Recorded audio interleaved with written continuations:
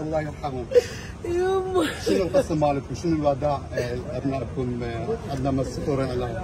بنتي 24 سنة وب... وبنت ابني. إي والله. شو طلب يدك؟ من الحكومتين العراقية وال والله ما أدري. أنتم مروتكم ما أدري. بنتي منكم